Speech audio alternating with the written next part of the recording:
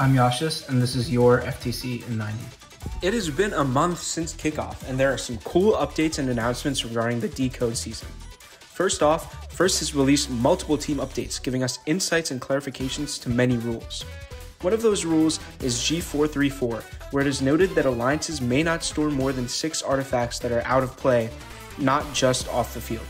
However, if the draft team makes a good faith effort to immediately enter the excess artifacts into play, there will be no penalty.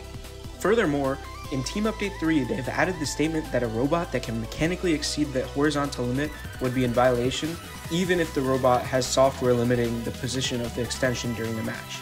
Lastly, let's take a look at the new EveryBot, created by FRC team Robonauts.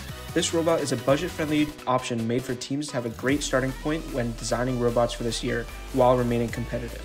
It features a rubber banded intake that's Vex like with a deposit capable of catapulting three balls at once. Super lightweight and efficient, it can even park with a partner, utilizing its incredible tripod parking mechanism. That's all for this FTC in 90. Let us know on the fun Discord server if you have anything you want to see in the next episode. Build your alliance with so many other FIRST alumni who go to Kettering University. Head on over to kettering.edu slash first to learn more about their incredible programs and to get more information.